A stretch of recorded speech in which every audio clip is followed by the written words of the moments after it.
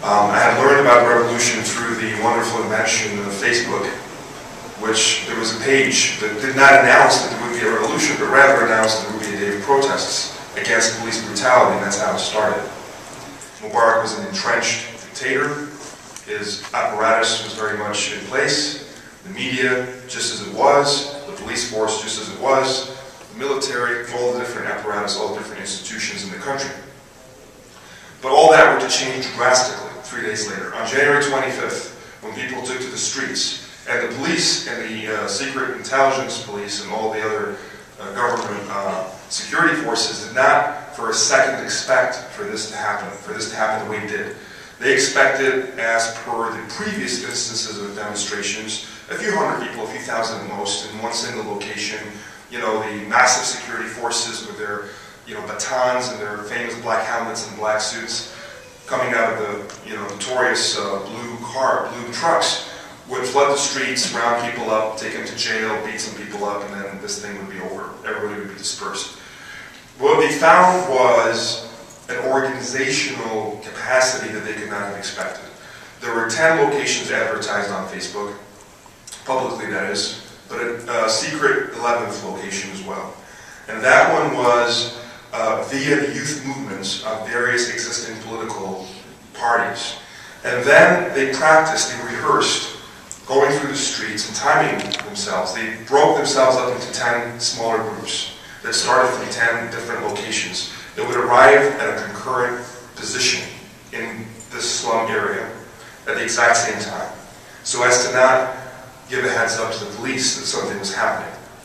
And they rehearsed this, they walked fast, they walked slow, they took traffic into consideration, they timed it perfectly. Came the day of the 25th, that 11th group broke itself up into 10 smaller groups. Only one single person in each of those groups knew what was happening.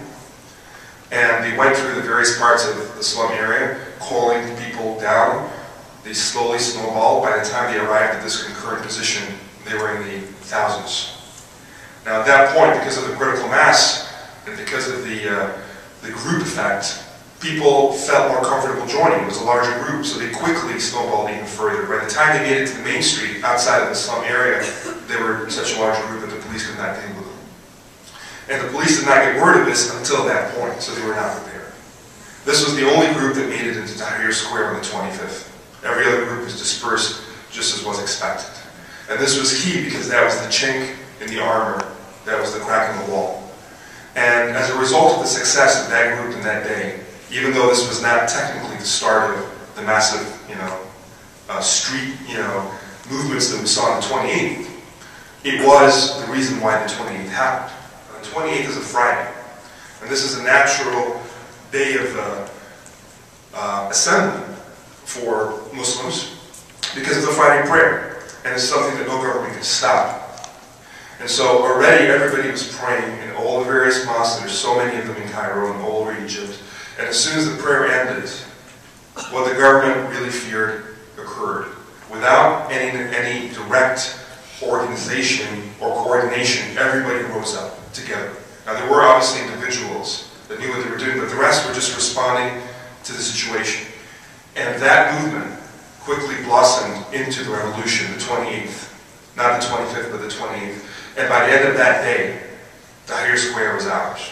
After a long, brutal day of battling the right police, tear gas, canisters, rubber bullets, batons, you name it, you know, the crossing of the bridge, the smoke that you saw, the turned over cars, the blown up, you know, trucks, all that happened that day.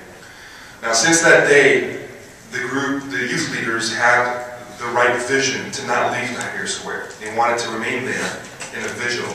And this was key because that started the next phase of the revolution, which was staying in Tahrir Square with a list of demands and not going home. Now that you had critical mass there, the government, with no, you know, security forces were dispersed. They were no longer in effect. They had been beaten badly after all these years of brutal suppression. They basically just ran away, and they could not show their faces again. Their leadership uh, was ostracized and removed by President Mubarak, and the security forces no longer were in the streets. And then you had this massive population in Tahrir Square that had these demands, so the pressure was on, and time was on our side. We didn't know, we did not know that necessarily, but that's what it was. We did not ask for Mubarak to leave when we first started on the 25th, and we did not, did not ask for an end to the regime.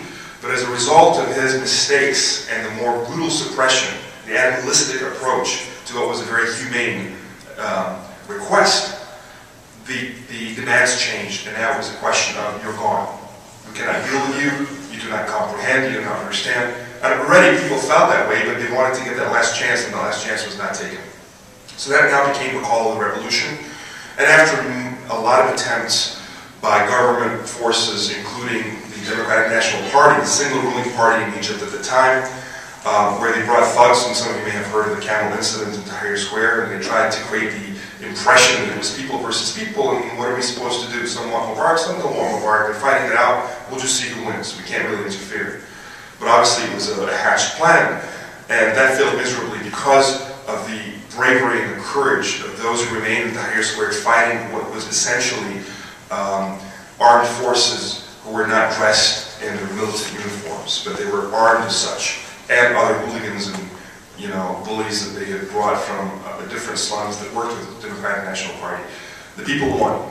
The people lost a lot of you know, life and limb, but they won. They maintained Tahrir Square, and since that day, the movement blossomed further, and went from the hundreds of thousands to millions. And this continued until the demand of the people was so strong. And at one point in time, 12 million people were in the streets at various points in time, from Alexandria all the way to Upper Egypt, and obviously in Cairo. To the point where the, the military had to make a choice. And this is the main difference between, I suppose, the Egyptian revolution and revolution in Syria, is that the military uh, in Egypt has a tradition of never firing against the people It considers itself an institution that works for, for the people and not for the president, as opposed to the police force, which was badly beaten by people. And so they made the right choice to give the president an ultimatum, fix this in 24 hours, or we're going to have to side with the people. He couldn't fix it in 24 hours. It was his fourth weak speech that did not address any of our concerns. We came out even larger on that last Friday, the 11th, and he had to go.